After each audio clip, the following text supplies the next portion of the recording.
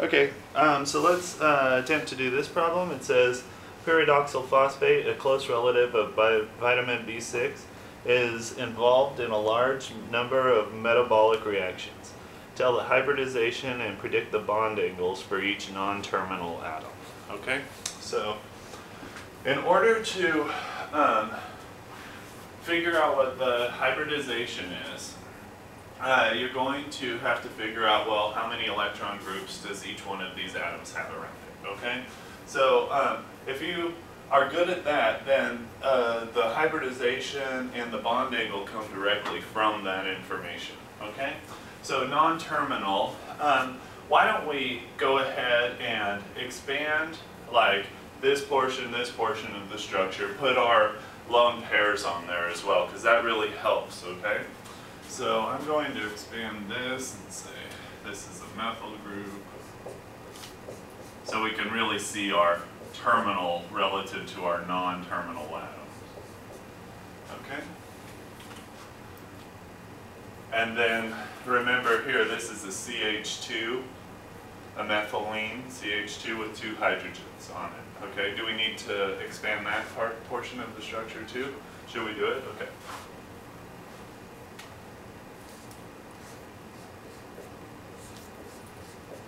So we can do that.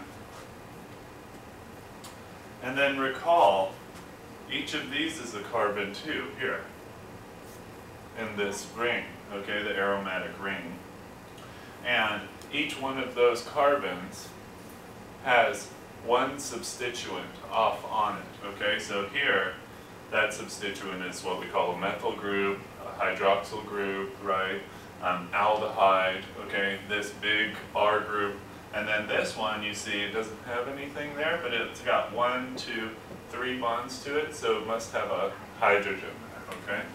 So let's just identify that, just to make sure, because what, this is what, chapter one still, right? So we're, we're kind of learning how to do this stuff. Okay, so um, is it okay that I don't put the C's within there? Is that fine? Okay, wonderful. So the next thing we'll do is go ahead and put our lone pairs on everything, okay? Do you already have it written on there? No. Oh, okay, so let's, do you want to do it together? Okay. So remember, um, if your carbons are fully saturated with um, bonds, you know, so like if we look at this carbon, it's got four bonds on it. This carbon has got one, two, three, four bonds, okay? So that's not going to have any lone pairs, okay? So if I look at all of my carbons there, they all have four bonds on them, okay? So really what we're looking at now is the heteroatoms to see do they have lone pairs or not, okay? So can you help me out? Should nitrogen here have a lone pair? Yeah, how many? Two. Well, one pair of electrons, right? Yeah, so two electrons. Okay, so we call that one lone pair, okay? So what about this oxygen here? So two lone. Two pairs. lone pairs, very good, yeah. Okay, and I know it said the, all the non-terminals, but let's go ahead and look at, this would be kind of a terminal oxygen, you know? But let's look how many, so two lone pairs again. And again, I'm trying to draw them in such a way as to show the directionality of these lone pairs. So it really kind of, hopefully will help you out at least down the road when you really start to understand this stuff. Okay, so I don't see any more heteroatoms until I get to here, right? Does that have any lone pairs on it? Two more. Two as well. This one up here? Uh, it needs two. Two, very good. What about this oxygen here? It gives you a clue with that negative charge. It's given one away, so it should only have, so it should have five electrons. Well, it's gaining I'm one if So, so it it, should have three lone pairs. three lone pairs, yeah, very good. So were you doing the formal charge equation backwards in your head? Yes. Okay, wonderful, yeah, that's good. Okay, and then this one? also three lone Also three lone? And what about the phosphorus? Can you do that one? It's kind of one of those, remember the weird atoms that expand their valence? Should I, should I give you a clue? Okay, this, if you look, phosphorus has five valence electrons. You can see they're all um, being used to bond there, Uh-huh. so it's not going to have a charge, okay? Remember, five minus zero minus one half of ten is gonna be five minus five, so that's gonna be zero, okay? If you wanna go through that slower, um, just watch the video again, okay? So is, uh, are we cool with the electron? Okay, wonderful. So now what we wanna do is look for, um, the electronic structure around each of these atoms, okay? Um, so, uh, what you'll find is the amount of electron groups kind of tells you what the bond angle is, and from that bond angle you can get the hybridization, okay? So, um, let's just start here, because it wants us to do all non-terminals, okay? So we'll start here. How many electron groups does that carbon have around it? Do you remember what we considered electron groups? Yeah, so single bonds was one, Uh-huh. double bonds was just one electron group, triple bonds was just one electron group, and lone pairs, one electron group, Okay. So this has four single bonds around it, so how many electron groups? It would have four. Four, right? So with things with four electron groups, what shape do they become? Tetrahedral. Tetrahedral, okay? Oh nine point five. Yeah, one oh nine point five, so we've really skipped over the hybridization part. So once we say tetrahedral, once we say that electron groups, there's four of them, that's SP three already, okay? SP three, and what was the other thing we wanted, the bond angle, right? Uh-huh. Yeah, Okay, so something with four sigma bonds is gonna be what? 1095 yeah. Okay, so let's go to this carbon here. Okay, Okay, so how many electron groups does it have around it? four as well. So what did we say? Single bonds count Oh, as sorry. one, double bonds count as one, triple bonds count as one, and lone pairs count as one. Okay, so it's got Three. three, okay? So if it's got three, that approximates, uh, what, what bond angle? Well, just the angle number.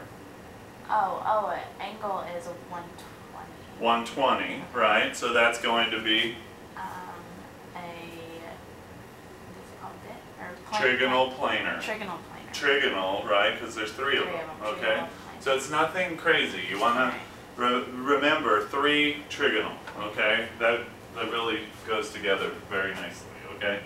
So if we've got three groups, right? So this one had four, right? The bond angle here was 120. What did we say that um, hybridization is?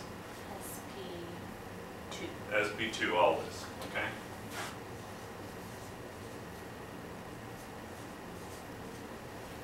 Like that, okay? So, let's look at this one here. Okay, Is there anything similar for, between that one and that one? it looks the same. It's the exact same. So do we need to go through the analysis No, of that one? no. Okay, I'm just gonna write the same thing down, okay? So in fact, I'm just gonna write a little arrow there. Okay, because that one's also SP2 and uh, 120 degree bond angle, okay? What about this one here? It's as well. It's the same thing, right? Same thing. So let's put another arrow there. What about this one there, up at the top? Um, it's an SP two. SP2, right? So same thing. And what about this one over here on the edge? This thing, Same, okay. So now let's look at that nitrogen that's on that ring. How many electron groups does the nitrogen have around it? It's three as well. Three as well, so what do you think the hybridization is gonna be? So that's a SP two. SP2 as well. And so, um, here, when we're talking about bond angle, right, we're going to talk about the angle between here and here because this is not a bond, okay? Um, because, uh, it's got a lone pair, um, oftentimes we'll think, well, it's going to, um, crowd those two bonds in a little bit. But when, when you're in one of these aromatic rings, it really doesn't deform the shape as much, you know? So we're going to say this is 120 as well, Okay. okay? If this were a non, an atom in a non-cyclic structure, an acyclic structure, or I guess more so if that structure weren't aromatic where they had alternating double and single bonds, then it would deform the bond angle and it would kind of collapse it a little bit, okay, like we've talked about before in class, okay? So we're gonna put, is that all right, just a little arrow there? Okay, so let's look at this one here, so how many? It's also got three. Three, so what So is it gonna be? That covers the SP two, SP two.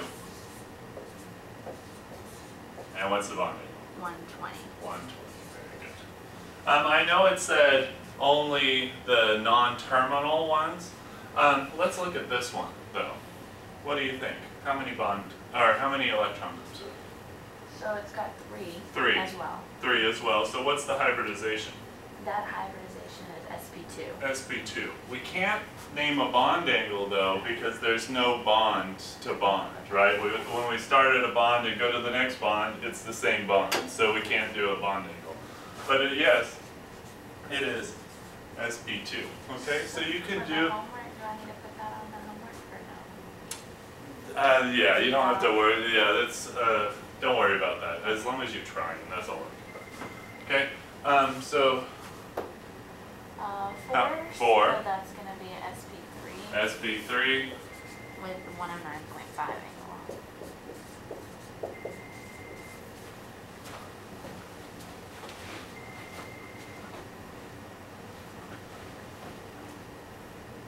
Okay. Um, let's look at this one over here, this oxygen over here.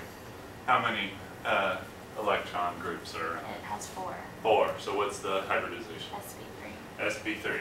What's the bond angle of this one though? Ooh.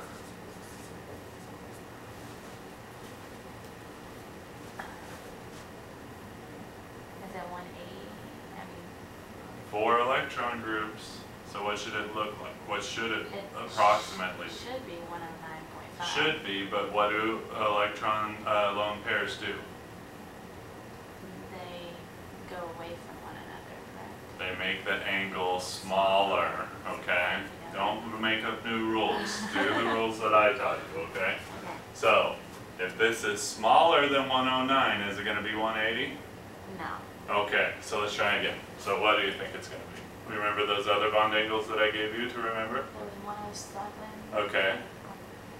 Okay, what was the other one? Well, so how many electron groups did you need for that?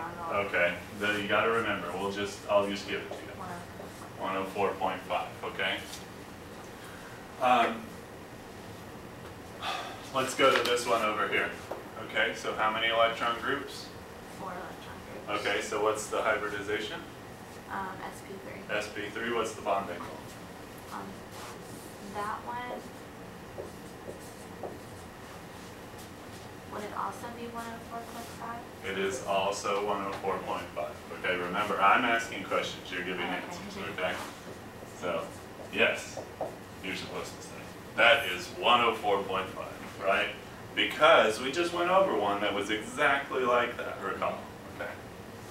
Um, again, we can say, on this one, we can say it's SP two hybridized, but we can't give a bond angle. That's why they're trying to tell you, don't do the terminal ones. So let's not worry about those oxygens there, because they do act a bit strange, okay? But, um, this phosphorus there, right? What is the amount of electron groups around that phosphorus? There four. Four, so what's the hybridization? SP three. SP3. So what's the bond angle gonna be? Um, one twenty. No, try it again. I'm sorry, sorry. One oh nine point five. One oh nine point five, okay?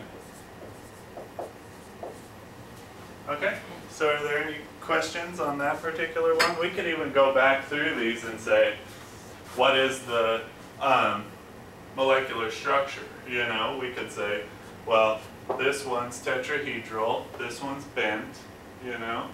Um, this one's trigonal planar, trigonal planar, trigonal planar, trigonal planar, trigonal planar, trigonal planar, bent, okay? Tetrahedral, bent, tetrahedral. Okay? Are there any questions left on that one? Okay, wonderful. We're gonna kill it.